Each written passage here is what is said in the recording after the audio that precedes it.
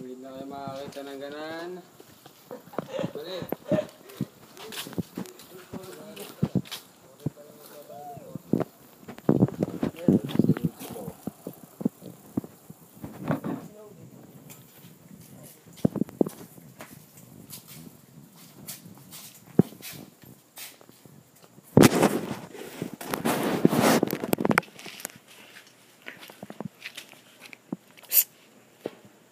Kapit. Sa pang-ikot. Ito, sa unahan.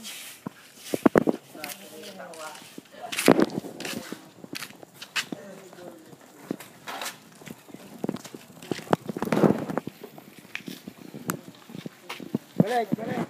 Liwanag.